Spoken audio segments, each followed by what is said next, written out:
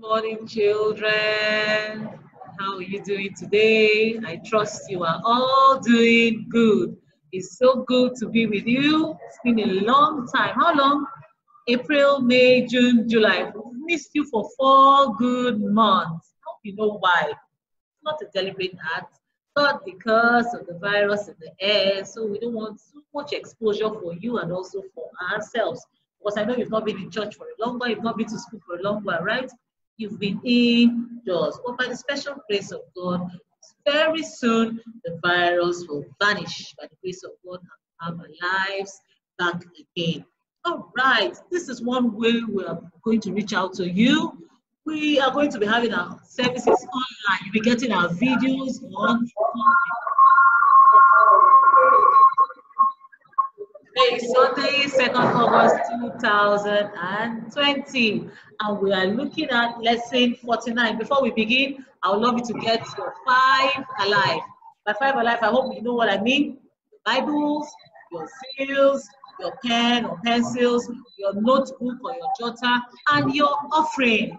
Now, you're wondering what you're going to do with the offering. When mommy and daddy are coming to church, you give it to them and they put it in church. Praise the Lord. All right, love us to bow our heads as we take our opening prayer. In Jesus' name, our Heavenly Father, we thank you for today. Thank you for the grace of sleeping and waking. Thank you, Lord, for the privilege of a new day. We give you all the praise in the name of Jesus. Our Father in heaven, in any way we have heard, have mercy on us, that our sins will not hinder our prayer, your presence being felt mightily here with us in the name of Jesus. Father, we'll commit today's service unto your able hands. Father, have your way in the name of Jesus. Holy Spirit, Holy Spirit, you are greatest teacher. Come and teach us that we will have wisdom, have knowledge, have understanding of all that will be taught here today. In Jesus' name we pray. Amen. Praise the Lord. Hallelujah. Okay, we're going to take a short praise and worship session. You ready? Yes. We give you glory, Lord, as we honor you. We give you glory, Lord, as we honor you. You are wonderful. You are worthy, oh God. You are wonderful. You are worthy, oh Lord. Thou art worthy, oh Lord. Thou art worthy, oh Lord. To receive glory, honor, and power. For thou art created all things, and for thy pleasure they are and were created. Receive our praise, O God. Receive our praise, O God. Glory and honor we give unto you. Receive our praise, O God. Receive our praise, O God. Receive our praise, O God. Glory and honor we give unto you. Receive our praise, O God. It is a great thing to serve the Lord. It is a great thing to serve the Lord. It is a great thing to serve the Lord. Walking in the light of God. Everybody walk, walk, walk, walk, walk. Walking in the light, oh, walk, walk, walk, walk. Walking in the light, oh, walk, walk, walk, walk. Walking in the light in the light of God. It is a great thing to serve the Lord. It is a great thing serve the Lord. It is a great thing to serve the Lord. Walking in the light of God. Children of God, children of God, wonderful children, Dominion children, will you shout hallelujah? Shout hallelujah to the Lord five times. Hallelujah, hallelujah, hallelujah, hallelujah, hallelujah, hallelujah. Praise the Lord, hallelujah. May the Lord accept our praise and worship in Jesus' name. Amen. Okay, today we are looking at lesson 49. I know by now you have your seals. You can open to page 106, 106. Flip over to page 106 by looking at the topic that says eternal glory. Are you there? Yes, I believe you are. Our Bible text is taken from Matthew chapter 28, and we're looking at verses 16 to 20. Get your Bibles. Don't say because I'm at home, I don't need to read it. No, get your Bibles as I'm reading. You are going along with me. Our Bible text is taken from Matthew chapter 28, from verse 16 to 20, and it says, Then the 11 disciples went away into Galilee, into a mountain where Jesus had appointed them.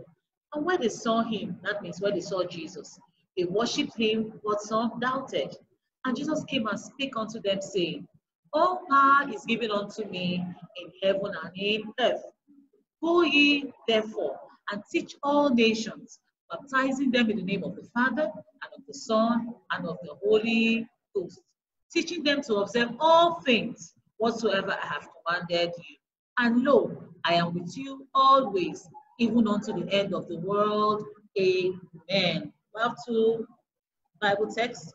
Let's look at the second one, and we're looking at Acts chapter 1, from verse 6 to 11. Acts chapter 1, verse 6 to 11. Flip over to Acts chapter 1. We're looking at verses 6 to 11. It says, When they therefore were come together, they asked of him, that means the disciples, when they came together, they asked of him, saying, Lord, will thou at this time restore again the kingdom to Israel? And he said unto them, It is not for you to know the times or the seasons which the Father hath put in his own power, but you shall receive power after that the Holy Ghost is come upon you. And you shall be witnesses unto me, both in Jerusalem and in all Judea, and in Samaria, and unto the uttermost, uttermost part of the earth. And when he had spoken these things, while they beheld, he was taken up, that means Jesus was taken up, and a cloud received him out of their sight. And while they looked steadfastly towards heaven as he went up, behold, two men stood by them in white apparel. I believe those men were angels, which also said, Ye men of Galilee, why stand ye gazing up into heaven? This same Jesus which is taken up from you into heaven shall so come in like manner as ye have seen him go into heaven. All right, our memory verse is taken from First John chapter 5, verse 11. We're going to read it together like we do in church. I know you're not here physically, but you still need to memorize it like we do in church so that you read it every day and apply it in your daily life. Are we ready? Yes, we are. Our memory verse is taken from First John chapter 5, verse 11, and it says, And this is the record that God had given to us eternal life, and this life is in his Son. We'll take it one more time. Our memory verse is taken from the book of First John chapter 5, verse 11, and it says, And this is the record that God has given to us eternal life, and this life is in his Son. And our topic says eternal glory. And this last part of our memory verse is God has given us eternal life. The word eternal, what does it mean? Eternal means never ending. Can you say that? Eternal means never ending, without end, existing forever. Okay? Eternal glory. And said eternal means never ending, something that has no end, something that continues to exist and exist and exist forever. And it says God has given us eternal life. That means a life that will not come to an end, a life that will be there forever. And where are we going to spend this life? We are going to spend it in heaven. That is a place of eternal glory. Children, I hope you remember what glory is. Do you remember? Glory simply means radiance. Glory simply means brightness. When something shines so bright, okay? Now, just paint this picture in your head like we do in church. You come into a very dark room, you're scared, right? But When you put on the light, everywhere shines so bright. That is how the glory of God is. It comes upon you. The presence of God comes upon you. That is the glory of God. Your life will begin to shine, and we will shine with Him in heaven forever. All right, let's go on. This is our Bible text, Matthew 28, verse 16 to 20. I have read that. Now, children, let's go on. I know you can see the pictures on the screen, yes? Why are we treating this lesson today? So that you will know the way to eternal glory. Don't say, oh, I'm too young, I'm four years old, I'm five years old. No, we have to start learning from now how to find our way to eternal glory because if you miss it now, you might not get it again. So as little children, you have to learn the way to eternal glory now so that you will grow up with it. The Bible says, train up a child in the way you should go, so that when he is old, he will not depart from those ways. So that's why we are teaching you the way to spend your time in heaven with God. Now, introduction says, wonderful love of Jesus, saving my soul from sin, lifting me from his shadows, giving me peace within, crowning my life with gladness, flooding with joy my way. How can I keep from singing? Heaven has come to stay. Now, let's look at the story we looked about. Jesus, when his disciples went to a mountain, Jesus told his disciples to meet him right up in that mountain. Hmm. Jesus appeared to them and they worshipped him.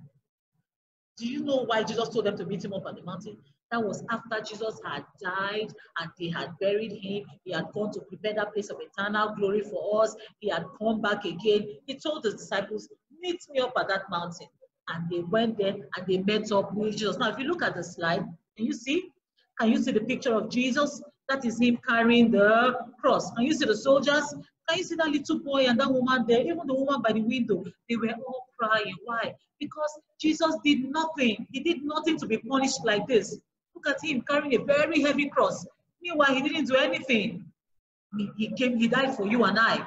He carried our sins, he carried the sins of the world on his head. Why did he do that? He had a purpose. He was going to prepare a place of eternal glory for you and I. Was going to prepare a better place for you and I. So that when he gives us eternal life, when he gives us that gives us that life that will never end, we will have a place to spend it. It's not going to be spent here on earth because there are so many bad things happening here on earth. Like the coronavirus, virus, for example, there's no way we enjoy our life forever here because of the too many stealings, too many killings, too many lies, too many bad things happening. That was that's why Jesus went to prepare that beautiful place for you and I. Beautiful. Now, can you see the picture there? Yes. If you look at the top, I can see one, two, three crosses there. Now, the one at the middle was where Jesus was crucified. Just imagine our Lord and Savior being hung up on the cross. You know they nailed his hand? You know, we tell you not to play with sharp objects. Imagine how sharp a nail is. You know what they did? They put Jesus' hand on the wood, they used the nail, used the hammer, and they pierced it so hard that the nail passed through Jesus' hand and went into the, the wood. And they laid him up there. They put a crown of thorn on his head, thorns, very sharp. They put it on his head, and the head started bleeding, and blood, blood was just gushing out. They nailed him to that cross, and after a while, he died there. When he died, guess where he went to? He went to prepare that beautiful place of eternal glory for you and I, so that when he gives us eternal life, we will spend it in a better place with him. Now, there's a second picture here. Can you see that? That's when Jesus told the disciples to go meet him up on the mountain. Oh, beautiful. Can you see them? That is Jesus there and his disciples around him. He told them, Meet me up at the mountain. Jesus appeared to them and they worshipped him. And this is what Jesus said All power is given unto me in heaven and on earth. All power is given unto Jesus in heaven and on earth. Power to transform us into his sons and take us up to that glorious place. And he gave them an instruction. He says, Go therefore and teach all nations, baptizing them in the name of the Father and of the Son and of the Holy Spirit, and teaching them to observe all things. That is the instruction that Jesus gave to his disciples. Do you know you and I are disciples of Jesus? Yes, we are. It's not for only these men. These men are dead and long gone. The disciples are reigning with him. So we are Jesus' disciples here on earth right now. Don't say you are too small. No, you are not. Yes, I know you are five years old. Some of you are four years old. But you can talk to somebody about Jesus. In your classroom, if you have a friend who takes a pencil that is not his, some children even take the teacher's erasers home. You even pick snacks from your other friend's bag. That is so bad. If you know somebody that does that, you talk to the person, say, don't do this. If you do it, you are not going to go to that place of eternal glory and reign with Christ forever. Jesus has given you instruction and authority to teach others about eternal life so that they can receive him and partake of eternal glory. I know some of you are wondering, hmm, how do I get to this place? How do I get to this place of eternal glory? It is simple. You obey the commandments of God and you give your heart to Jesus. Do not tell lies. Do not steal. Do not fight. Do not curse. Do not envy people. Hmm, do not see what other person has, what another friend has, and you want to take that in at all costs. You see a friend puts on a new shoe today, you go to mommy, mommy, I want that shoe. Meanwhile, you don't have need for it. A friend buys a, a, new bag. Mommy, I want a new bag. Meanwhile, I have five school bags. A friend has a new lunch bag. Mommy, I want that lunch bag. That is greed. Better watch it. It is growing. It is growing in you. That desire is bad. So if we don't do all these things, finally you give your heart to Jesus. You surrender your life to Him. You pray to Him. You fellowship with Him. You worship Him. You pray in the morning, afternoon, night, every time. You study the scriptures, study what the word of God says concerning you, and apply it to your daily life. You live according to God's principles. The Bible says we should not steal, so you don't steal. The Bible says don't tell lies, so you don't tell lies. The Bible says do good, you do good. By doing this, you are living your life according to God's word. And if you do this every day, that is the way you get to eternal glory. That is the way you get to eternal glory. That beautiful place that radiates with God's presence. That is the way you get to that place and you live with God forever. Okay, and you see, I told us from the text we read, while the disciples were with Jesus, uh, the cloud opened up and Jesus was taken up to heaven. And you see the disciples looking at him. Yes, and after this, two angels appeared. Yes, can you see? Two men dressed in white. And I remember I told you they are angels. Can you see the disciples? They are still amazed. They're still looking up because they saw Jesus being taken up onto heaven. Two men came.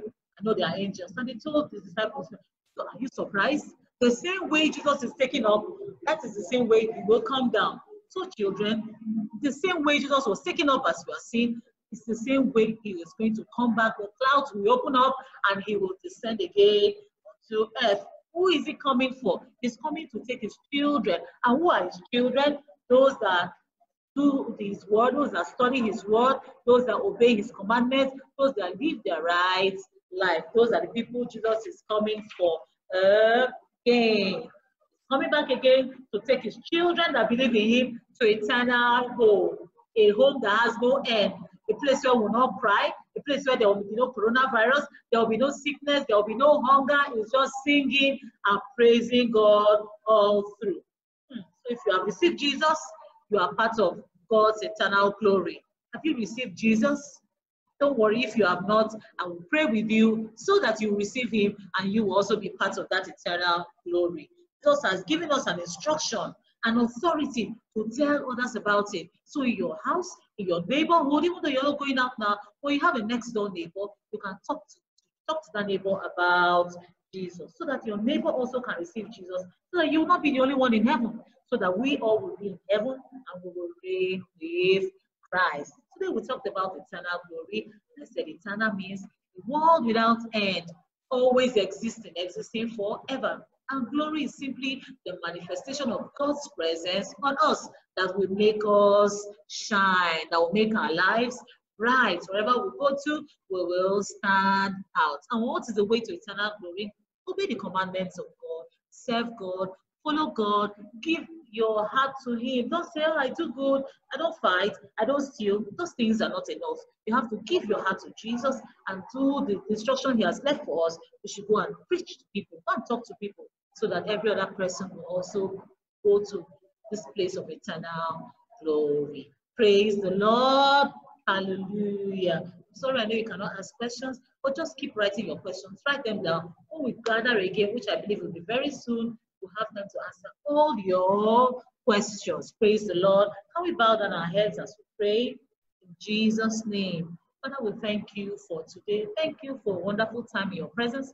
Great Holy Spirit, we've come to say thank you for we know that you have taught us, and great is our peace. Be thou exalted in the name of Jesus. Soon as we have spoken about eternal glory, give us the grace, oh God, to follow your ways, to give you our hearts, to give you our all, and follow you, so that we will reign with you at the end, this place of eternal glory, in the name of Jesus. Father, for your children, is there anyone here that has not given you their heart? Father, we commit them unto you. Sweet Holy Spirit, we ask that you convict them that they will be saved in the name of Jesus. We cover our lives with the blood of Jesus. Cover this new week with the blood of Jesus. The diseases of the Egyptians shall be far away from us in the name of Jesus. Thank you, faithful God, because when we meet ourselves again, no bad news shall be heard in the name of Jesus. Hallowed be your name forever. For it's in Jesus' name we have prayed. Amen. Thank you, everybody, and see you next week. Sunday. Bye. Don't forget to go through the zeal, study or study the word of God, and apply it in your life every day, and you reign with God eternal glory. Jesus' name. Amen. Bye. Love you all.